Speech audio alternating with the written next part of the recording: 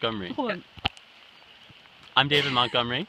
And I'm Annie D'Angelo. Um, David and I are here having a reunion in Putney, Vermont at the headquarters of National Geographic Student Expeditions. We led together last year in, in Costa Rica, and we're really excited to lead together again with you guys uh, in Peru. See you soon!